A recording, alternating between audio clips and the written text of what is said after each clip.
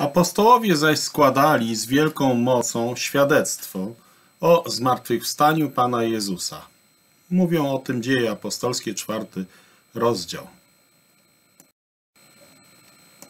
W początkach chrześcijaństwa największym tematem głoszenia apostołów było zmartwychwstanie Pana Jezusa.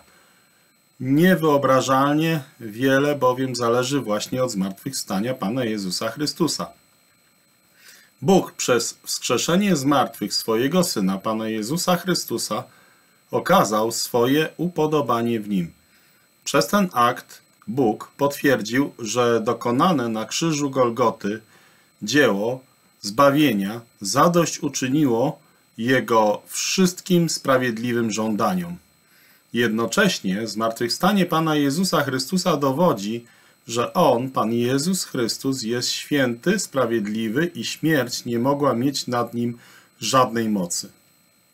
Przez zmartwychwstanie Pana Jezusa Chrystusa Bóg przekreślił plany niewierzących Żydów, którzy nie chcieli przyjąć Chrystusa, Jezusa Pana, jako swojego Mesjasza i sądzili, że przez ukrzyżowanie pozbędą się Go na zawsze.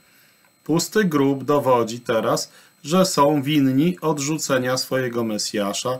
Zmartwychwstanie Pana Jezusa Chrystusa pozostawia ich bez żadnego usprawiedliwienia. Jednocześnie wskazuje na podstawę, na której może być głoszone odpuszczenie grzechów. Bóg przyjął ofiarę swojego Syna, Pana Jezusa Chrystusa. Zmartwychwstanie stanowi rzeczywiście podstawę chrześcijaństwa. Ma to zmartwychwstanie Pana Jezusa Chrystusa też pewien poważny aspekt. Mianowicie związane jest z przyszłym sądem nad wszystkimi niewierzącymi ludźmi.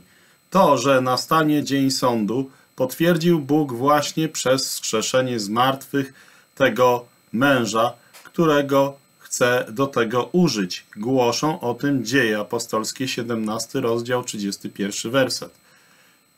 Gdyż wyznaczył dzień, w którym będzie sądził świat sprawiedliwie przez męża, którego ustanowi, potwierdzając to wszystkim przez wskrzeszenie go z martwych.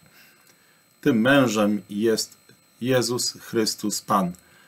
On, Jezus Chrystus Pan, jest gotów sądzić żywych i umarłych.